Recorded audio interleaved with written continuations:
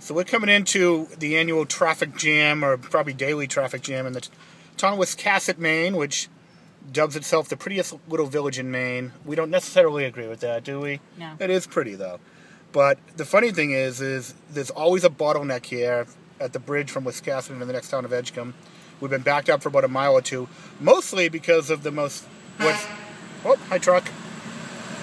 Mostly because of what's widely considered the best lobster roll in New England at a place called Red's Eats, which is going to be down here on our left. But oh, more often than not, this traffic is all backed up for miles in each direction because people keep crossing the street to get to Red's Eats. And uh, it's just kind of an amazing little phenomenon that it's the worst traffic pretty much on Route 1 from, from, from Kittery to, to all the way up down East Maine. Uh, the worst traffic is usually here because of Red's Eats. Have you ever had a lobster roll there? We I- have. You have. We have. It's like an entire. It's nothing but lobster. I don't That's- eat lobster. Well, you're the only person in New England who doesn't. But but here's Red's Eats on the left here. But uh, it's like an entire lobster packed into a hot dog roll with like no dressing, no nothing. It's lobster. And here's the line as it is almost every day. And you can see the traffic coming from. That's insane.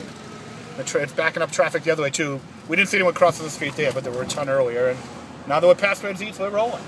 So that's a little little tour of scenic Maine and what's considered its most famous lobster roll.